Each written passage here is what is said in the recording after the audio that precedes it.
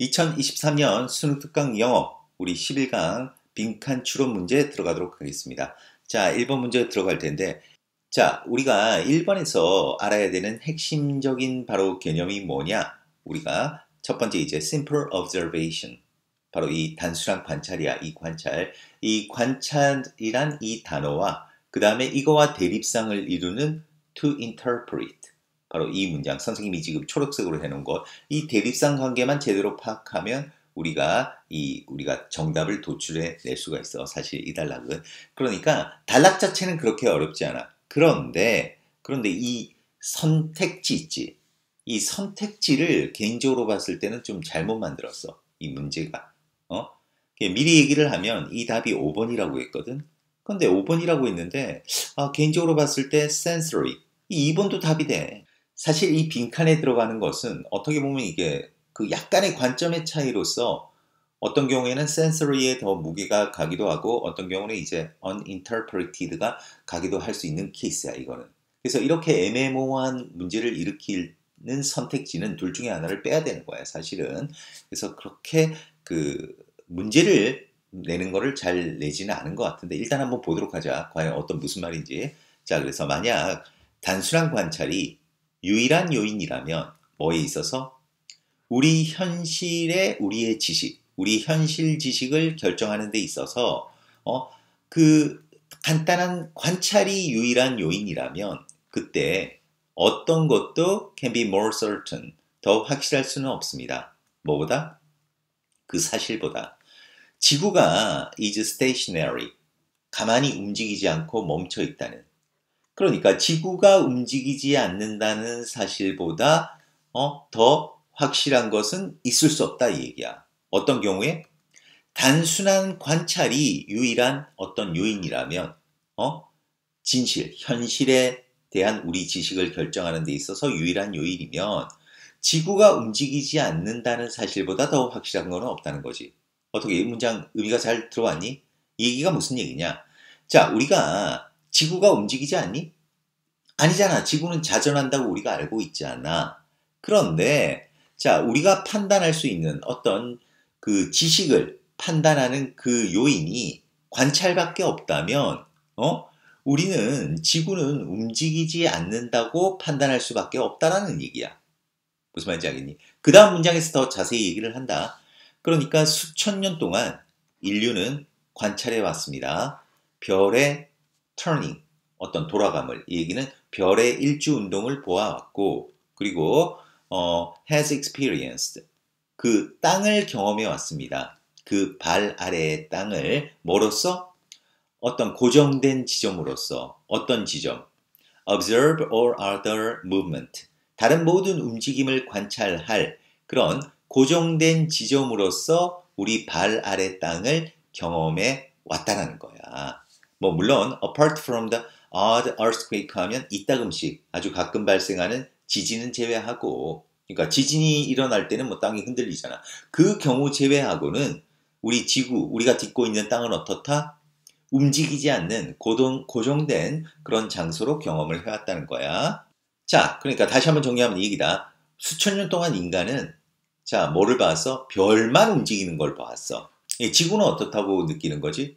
그냥 고정되어 있다고. 그리고 땅, 땅을 어떻게 경험했어? 움직이지 않는 지점, 딱 모든 움직임을, 별과 같은 움직임을 관찰하는. 그러니까 이제 천동설 같은 게 이제 받아들여지지 않았겠니? 자, 그런데, 어, accept, 받아들이는 것, 뭐를? 지구가 태양 주위를 돌고 있다는 것을 받아들이는 것. 그리고 그 축으로 돌고 있다. 그러니까 이 얘기는 자전을 하고 있다. 매일매일 자전을 하고 있다라는 사실을 받아들이는 것은 is to move away. 벗어나는 것입니다. 뭐로부터? 단순한 경험으로부터 벗어나는 것입니다. 그리고 이건 동격이다. 그 벗어난다는 건 무슨 뜻이냐? 바로 해석하기 시작한다는 거야. 뭐를? What is seen? 보여지는 것을 in the light of a theory. 이론의 관점에서, 이론의 관점에서 보여지는 것을 해석하기 시작한다는 거야. 그러니까 우리가 태양이 지구가 태양을 돌고 있는 거다. 그러니까 지구가 가만히 있는 게 아니라 지구가 태양을 돌고 있고 그리고 지구가 매일매일 자전을 한다. 그 얘기는 지구가 움직이고 있다. 이 사실을 받아들이는 것은 우리가 단지 경험하는 그런 관찰이나 단순한 경험, 이거로부터 벗어나는 것이다. 그러면 이거로부터 벗어나는 것은 다시 말해 무엇을 뜻하는가? 바로 이론이라는 관점에서 보여지는 것을 해석하기 시작한다는 거지. 그래서 against all the evidence, 우리 감각의 모든 증거들과 대조적으로 대조적으로 우리는 알고 있습니다. 우리가 어? 우주를 향해 돌진하고 있다는 것.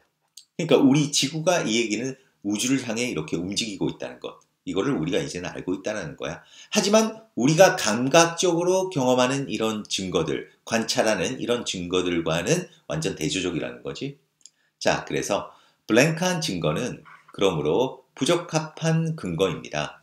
어떤 과학적인 이론에 있어서 부적합한 근거입니다. 자, 그래서 이게 답이 어떻게 되느냐?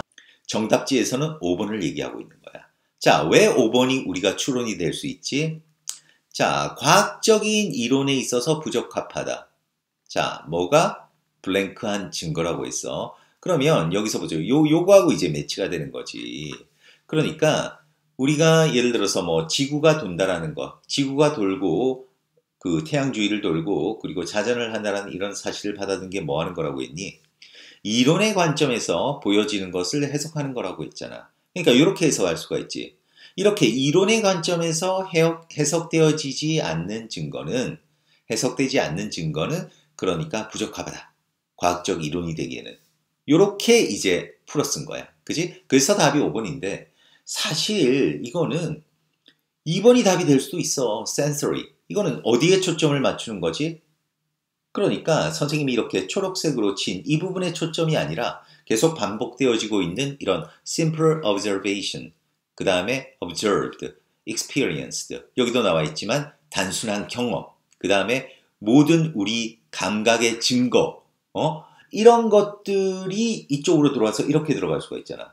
그러니까 어떤 감각에 관련된, 감각과 관련된 그런 증거들, 감각의 증거는 그러므로 부적합한 근거가 된다. 어, 떤 과학적 이론에. 이렇게 볼수 있다는 거지.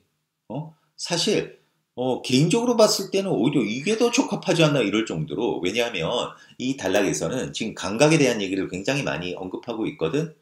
자, 우리가 뭐 관찰한다는 건 시각이잖아. 그리고 땅이 막 흔들리지 않고 움직이지 않는다는 거는 어떤 몸 촉각으로 이렇게 느끼는 거고 이런 것들이 모두 감각에 관련된 거 아니겠니? 그러니까 감각에 관련된 증거는 어, 과학적 이론이 되기에는 부적합하다. 이렇게 볼 수 있는 거야. 어, 그러니까 사실 선택지를 이렇게 내면 안 되지. 사실 이게 뭐 수능 문제 나온다고 하면 이건 엄청나게 논란거리가 될 수 있는 거지. 그래서 일단 이 지금 수능 특강 교재에서의 답은 5번이라고 했다. uninterpreted.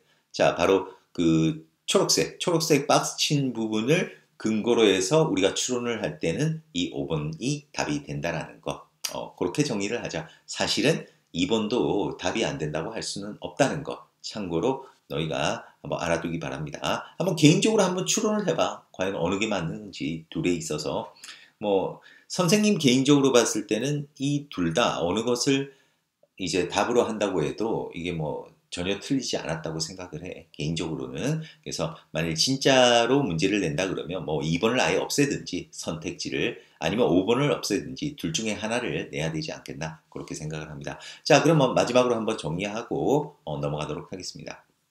자, 11강 1번 마지막으로 정리를 하면 우리가 관찰을 해가지고 관찰만 가지고 어떤 과학적인 사실을 우리가 결정할 수 없다는 거야. 이 단락의 이야기는.